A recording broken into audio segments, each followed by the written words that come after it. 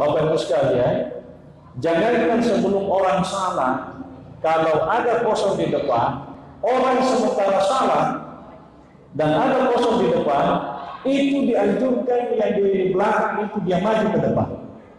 Mungkin sudah salah, dan apa? Yang penting jangan jangan seperti Pradawati, batal itu supaya Jadi misalnya saya Allahu Akbar, yang di depan itu tiba-tiba dia keluar karena mungkin dia tidak wudhu atau apa.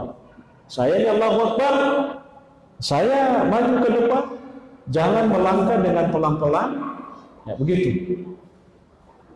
Nanti yang tempat saya diisi yang belakang, begitu seterusnya, tidak apa-apa.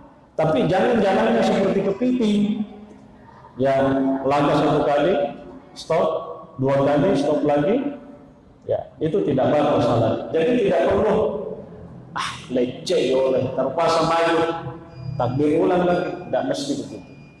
Ah, itu singkat saja. Jadi memang harus diisi saf yang di depan itu. Ya kan? Makanya imam itu selalu mengatakan sawu wa tadilu wa suddul.